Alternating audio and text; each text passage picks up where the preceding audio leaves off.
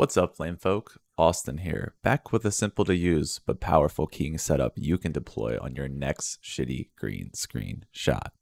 Click disclaimer. None of this shit I'm sharing is new except for the setup which allows you to use the power of the IBK and additive keying with a few easy steps. Personally, I found high-end keying to be pretty difficult to get into. A lot of batches break my smooth brain.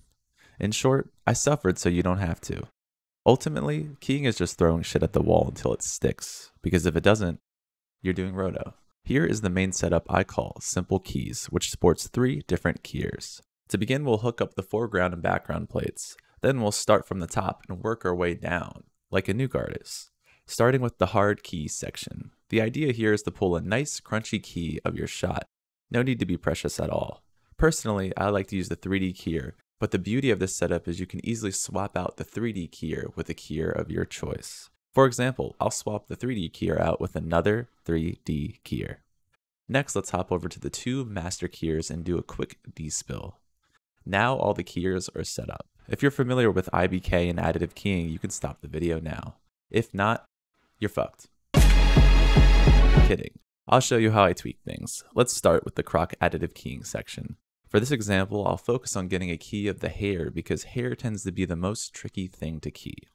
First thing I do is I set the global restore to 3, which should make things worse. Why?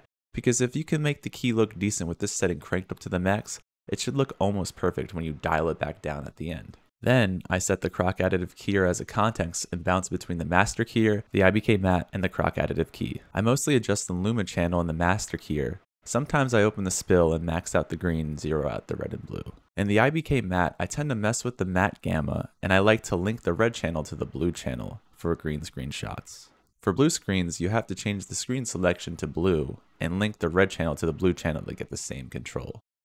The matte gamma tends to affect the gray values in the matte, while the linked red channel will increase the core of your matte. You can ignore the rest of the settings except when you are comping with the IBK. We'll discuss that later.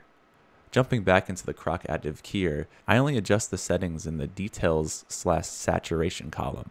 I pretty much ignore everything else. Now that I have the hair in a decent spot, let's move on to the next section. I like to set the comp node as a context and adjust the settings in the master keyer and IBK node to taste. You can totally ignore the key ops group.